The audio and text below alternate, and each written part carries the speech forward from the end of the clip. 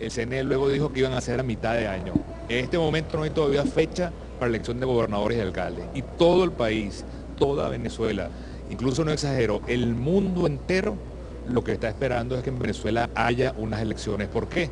Porque cualquier elección en Venezuela va a abrir la posibilidad de un cambio total en el país. Lo que no queremos que eso, que es una distracción del CNE, se convierta en una distracción de opinión pública. Reitero, lo importante es que toda Venezuela exija, emplace, exija su derecho a que el CNE fije la fecha de elecciones.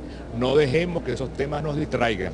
Aquí lo importante es que corresponden este año dos elecciones y el gobierno y el CNE no pueden quitarle al pueblo el derecho a votar y por eso el mundo entero... son declaraciones del presidente de la Asamblea Nacional, diputado Julio Borges, quien confirma la participación del partido Primero Justicia en el proceso de renovación de las toldas políticas ante el Consejo Nacional Electoral, pero también señala que es necesario que